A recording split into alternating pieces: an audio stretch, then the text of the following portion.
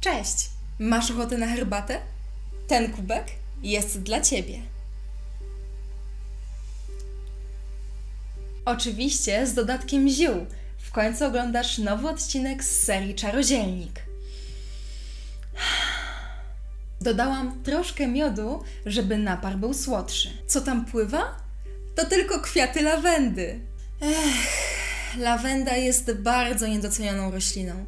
Nie dziwię się więc, że jesteś zaskoczony faktem, iż nie używa się jej tylko jako środka na mole. Z chęcią opowiem Ci o niej coś więcej.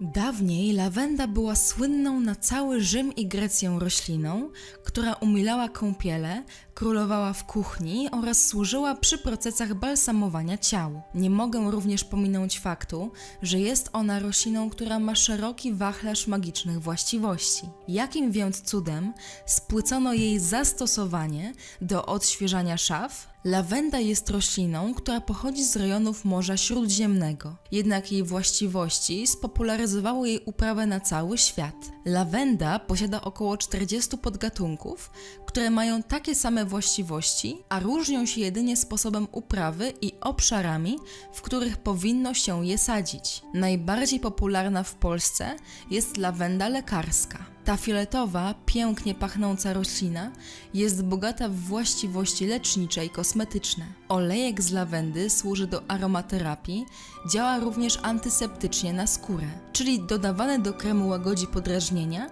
i pomaga w walce z trądzikiem. Roztworem olejku lawendowego z wodą można aromatyzować pościel oraz pomieszczenia, w których się śpi, ponieważ roślina ta pomaga bezproblemowo zasnąć z gwarancją spokojnych marzeń sennych lub całkowitego ich braku. Sam olejek można wcierać w skronie i nozdrza w chwilach większego stresu, ponieważ zapach lawendy wpływa na nas relaksująco, łagodzi skutki stresów i pomaga się skupić. Jednocześnie przywraca jasność umysłu i wybudza z otępienia, kiedy jesteśmy za bardzo znużeni. Warto mieć przy sobie wodę toaletową lub mgiełkę, która ma w sobie nuty lawendowe. Na rynku można spotkać się z produktami, które są dedykowane zarówno dla kobiet, jak i mężczyzn. Ja natomiast posiadam wodę toaletową od Yves Rocher.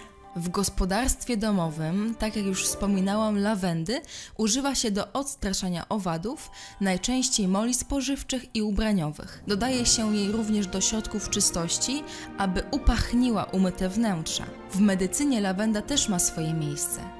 Wspomaga układ trawienny, łagodzi bóle miesiączkowe oraz brzucha. Bóle migrenowe należy zwalczać olejkiem lawendowym, wcieranym w skronie i palonym w specjalnych kominkach. A jakie są magiczne właściwości lawendy? Zapytacie. Jest ich całkiem sporo. W magii lawendy używa się do rytuałów ochronnych, leczniczych, miłosnych, przyciągających szczęście i spokój życiowy oraz do rytuałów wspomagających psychiczną siłę. Lawenda, podobnie do białej szałwi, oczyszcza przestrzeń, w której się znajdujemy, odgania złe byty oraz chroni przed złorzeczeniami. Jeśli więc nie posiadasz w swoim domu białej szałwi, możesz oczyszczać swoją aurę i dom właśnie ziołem lawendy lub kadzidłem o zapachu lawendowym. Jeśli zaś coś ci doskwiera, czujesz się źle fizycznie bądź psychicznie, możesz wykonać rytuał leczniczy. Do jego wykonania potrzebujesz olejku lawendowego, białej świecy, kawałka materiału, na przykład z nienoszonej już od dawna bluzki. Nasącz materiał olejkiem lawendowym, a następnie namaść nim świecę. Postaw świecę przed sobą, zapal ją, wyciągnij przed siebie ręce i pozwól, aby płomień ogrzewał Twoje dłonie. Nasączonym kawałkiem materiału dotknij czoła i mostka, a następnie przyłóż do miejsca, które najbardziej Cię boli. Jeśli jest to na przykład kolano, połóż materiał na nodze. Jeśli jest to gardło, połóż materiał w tych okolicach, na przykład na karku. Jeśli jest to miejsce, w którym materiał sam się nie utrzyma, poproś zaufaną osobę o pomoc. Zamknij oczy, wyciągnij ręce do płomienia świecy i wizualizuj sobie, jak uzdrawiające ciepło wchodzi w Twoje dłonie przenika przez ciało, aż dochodzi do miejsca, które cię boli lub przez które czujesz się chory. Wypowiedz te oto słowa: Tu i teraz Uzdrawia się na przykład z bólu brzucha. Wymawiasz swoją dolegliwość. Mówiąc zaklęcie, wyobrażaj sobie, jak ciepło świecy wchłania twój ból, czyniąc cię zdrowym i szczęśliwym. Jeśli czujesz, że coś w twoim życiu jest nie tak, że jesteś nieszczęśliwy, twoje marzenia się nie spełniają, możesz wykonać bardzo prosty rytuał przyciągania szczęścia i spełniania marzeń. Potrzebny ci będzie słoik, oliwa z oliwek i gałązki lawendy. Podczas pełni księżyca połóż gałązki lawendy w dobrze naświetlonym przez księżyc miejscu i pozwól, aby naładował roślinę swoją mocą. Następnie do słoika nalej oliwy i zanurz w niej naładowane gałązki lawendy. Odstaw w zaciemnione miejsce. Podczas nowiu księżyca wyciągnij słoik, Przygotuj białą świecę i zanurz ją w oliwie. Następnie sięgnij po kartkę i niebieskim długopisem napisz na niej, czego chcesz od życia lub jakie jest Twoje marzenie. Spal kartkę w płomieniu namoczonej świecy, wizualizując sobie, jak Twoja intencja się spełnia. Pozwól świecy wypalić się do końca.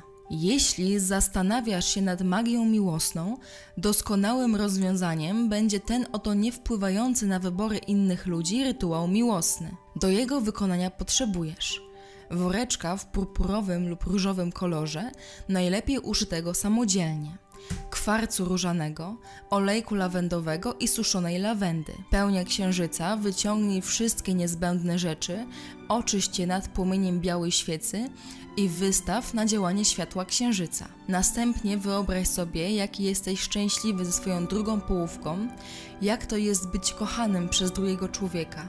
Ale pamiętaj, nie wizualizuj sobie twarzy, tylko emocje, które odczuwasz. Sięgnij po woreczek i wsyp do niego garść suszonej lawendy, następnie namaść olejkiem kwarc i włóż go do woreczka, cały czas wizualizując sobie siebie u boku ukochanego, siebie zakochanego i szczęśliwego. Szczelnie zamknij woreczek, na przykład związując go wstążką w różowym kolorze. Staraj się nosić go cały czas przy sobie, aż do momentu, gdy znajdziesz swoją miłość. Dziś mówiłam o lawendzie. O jakiej magicznej roślinie chcielibyście posłuchać w następnym odcinku Czarodzielnika? Pamiętajcie o subskrypcji kanału i łapce w górę. Do zobaczenia!